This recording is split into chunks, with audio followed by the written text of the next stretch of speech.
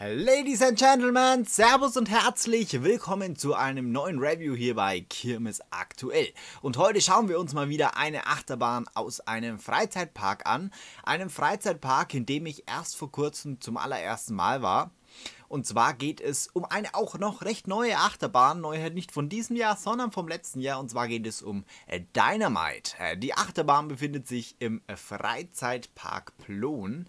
Ja, und bei dieser Achterbahn handelt es sich um den Typ Big Dipper. Hersteller ist hierbei Mack Rides und es äh, gibt von dieser Achterbahn auch noch ein Exemplar, oder was heißt, es ist jetzt nicht baugleich, aber es gibt noch ein Exemplar in äh, den Niederlanden und zwar Lost Gravity. Das war auch ein Big Dipper. Äh, die Bahn wurde am 18. Mai 2019, also letztes Jahr, eröffnet. Ja, die Schienenlänge liegt bei 500 Meter, maximale Höhe 44 Meter, Maximalgeschwindigkeit 100 km/h. Zur Kapazität, es gibt insgesamt äh, zwei äh, Wägen. Ein Zug hat einen Wagen, also es ist immer nur ein einzelner Wagen. Zwei Sitzreihen, pro Wagen, vier Sitzplätze pro Sitzreihe. Was sind für Elemente verbaut in dieser Achterbahn? Es gibt einen äh, Dive Drop, einen äh, Tunnel, was jetzt in dem Sinne kein Element ist, aber ich finde es schon erwähnenswert. Dann eine 270 Grad Helix und ein äh, Looping sowie eine Zero G-Roll.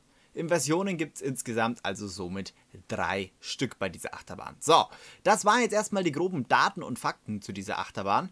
Und dann schauen wir uns jetzt einfach mal den Punkt Optik und Thematisierung an.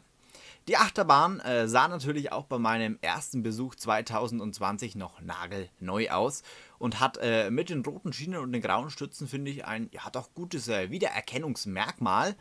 Und ja, wie den meisten sicherlich bekannt ist, äh, hat die Achterbahn äh, eine alte Achterbahn ersetzt, und zwar die Silvermine, welche vorher an diesem Ort stand. Ja, wie ich schon erwähnt habe, äh, war ich 2020 zum allerersten Mal im Freizeitpark Blon und kannte daher die alte Achterbahn leider nicht. Der Name Silvermine lässt aber allerdings äh, schon auf, sag ich mal so, Western-Thematisierung äh, zurückschließen, vermuten. Und somit kann ich behaupten, dass die Thematisierung bei dieser Achterbahn eigentlich beibehalten wurde, sowohl von der alten als auch zur neuen. Der Wartebereich ist, finde ich, sehr, sehr schön angelegt und äh, die Warteschlange selbst ist eigentlich gar nicht so lang, muss man sagen. Äh, komplett eigentlich indoor.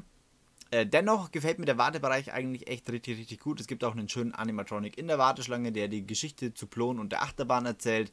Des Weiteren gibt es aber auch außen zum Beispiel noch so zwei Animatronics. Ich glaube, das sind irgendwie so Vögel oder so, die miteinander kommunizieren, die sich unterhalten. Also echt richtig, richtig schön gestaltet, schön angelegt. Der Wartebereich auch ansonsten um die Achterbahn herum, sag ich mal, wenn man so durchfährt, ist ja alles eingezäunt, da auch so ein bisschen Western-Thematisierung und so.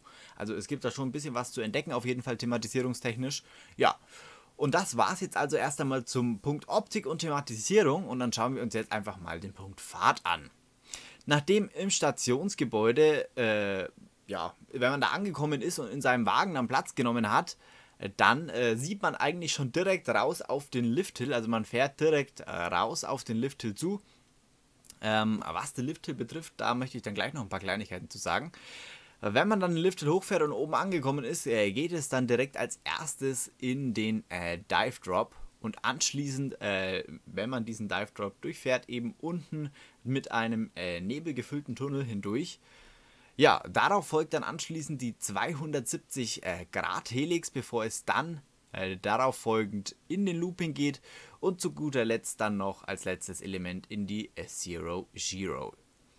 Nach circa ja, einer Minute Fahrzeit, sowas um den Dreh rum, ist die Fahrt dann beendet. Also die Fahrt an sich jetzt zwingend nicht die längste, würde ich so beschreiben. Was ich jetzt zum Lifthill noch erwähnen wollte, es gibt wohl scheinbar die Möglichkeit, habe ich gehört, äh, eine schnelle und eine langsame Fahrt zu haben. Hier läuft dann der Lift etwas langsamer oder schneller und so durchfährt man dann die Fahrt an sich etwas langsamer oder schneller, indem man natürlich dann schneller nach oben fährt, schneller reinfährt, alle Elemente. So habe ich das gehört. Ich selbst jetzt tatsächlich äh, einen Fahrunterschied in dem Sinne noch nicht erlebt, aber das wollte ich euch auf jeden Fall auch noch äh, kundtun. Ja, dann war es das auch zum Thema Fahrt und ihr wisst, was das heißt, denn jetzt kommt äh, das Fazit. Optisch ist die Bahn echt ein Schmuckstück, muss ich sagen, und auch die Thematisierung kann, finde ich, voll überzeugen.